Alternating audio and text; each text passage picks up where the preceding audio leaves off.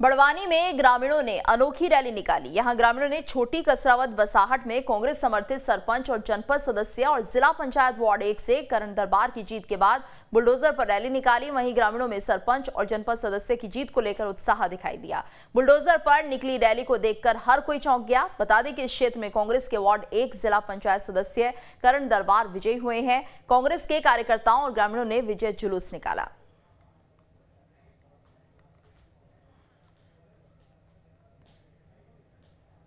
नर्मदापुरम से बड़ी खबर, इटारसी प्लेटफॉर्म को बम से उड़ाने की धमकी मिली है। आरपीएफ ने स्टेशन पर चलाया चेकिंग अभियान। बम स्क्वाड की टीम भी सर्चिंग में जुटी।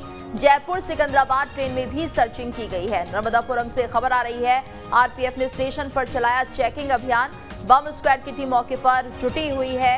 इटारसी प्लेटफॉर्म को बम से उड़ाने की धमकी मिली है। जयपुर, सिकंदराबाद की ट्रेन और इटारसी प्लेटफॉर्म को बम से उड़ाने की धमकी दी गई। जिसके बाद आरपीएफ ने स्टेशन पर चेकिंग अभियान चलाया है। ये बड़ी खबर बम स्क्वाड की टीम भी सर्चिंग में जुटी हुई है। तो नर्मदापुरम से बड़ी खबर आ रही है, जयपुर सिकंदराबाद ट्रेन में भी सर्चिंग की गई है। नर्मदापुरम में इटारसी प्लेटफॉर्म को बम से उड़ाने की धमकी मिली है। इटारसी प्लेटफॉर्म को बम से उड़ाया जाएगा, इस तरह की धमकी सामने आई। आरपीएफ ने स्टेशन पर चेकिंग की है। बम स्क्वाड की टीम भी सर्चिंग में जुटी हुई है। इसके साथ साथ जयपुर सिकंदराबाद ट्रेन में सर्चिंग की गई। और ज़्यादा जानकारी के लिए बात करेंगे संवाददाता आशीष से। आशीष, क्या जानकारी? क्या अब तक पता चल पाया है? जी देखिए, जो जयपुर से सिकंदराबाद ट्रेन जा रही थी, उसमें बाथरूम से एक स्लिप मिली है। स्लिप में लिखा हुआ था कि जो ट्रेन का कोच है एसी कोच है उसमें बम की सूचना दी गई थी। तो यात्रियों ने जब इटारसी स्टेशन पर ट्रेन रुकी तो आरपीएफ को ये सूचना दी और आरपीएफ ने तत्परता दिखाते हुए वहाँ पर चेकिंग शुरू की। दोनों कोच जो हैं बी वन बी टू को खाली कराया गया जिसके बाद में वहाँ पर कुछ भी नहीं प्राप्त हुआ। इसके बाद पूरी ट्रेन को जो है बम स्कॉट के द्वारा चेक किया जा रहा है और अभी भी ये चेकिंग जारी है। जी। आ, बिल्कुल आशीष और क्या माना जाए? क्या किसी ने कोई मज़ाक किया है?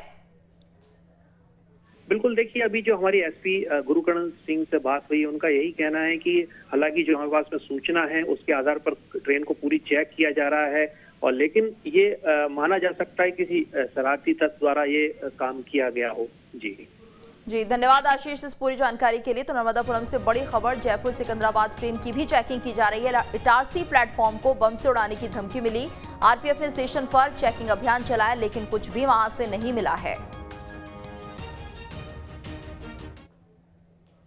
भारतीय रेलवे ने छत्तीसगढ़ के हज़ारों रेलवे यात्रियों को बड़ी राहत दी है। रेलवे ने करीब चार महीने से रद्द 27 ट्रेनों को फिर से बहाल कर दिया है। इनमें 16 एक्सप्रेस और 11 पैसेंजर ट्रेनें शामिल हैं। रेलवे ने इन्हें 10 से 17 जुलाई तक बहाल किया। मार्च महीने से छत्तीसगढ़ से गुजरने वाली ट्रेनों को लगातार रद्द किया जा रहा था। रेलवे ने शनिवार से कई अन्य गाड़ियाँ शुरू करने की बात कही थी, लेकिन फिर इन्हें भी रद्द करके 16 जुलाई से चलाने का आदेश दिया था। करीब चार महीने पहले रेलवे ने 14 लोकल ट्रेनों और 22 एक्सप्रेस ट्रेनों को एक साथ रद्द किया था। रेलवे के इस आदेश के बाद ट्रेन यात्रियों को ज़बरदस्त परेशानी का सामना करना पड़ रहा था।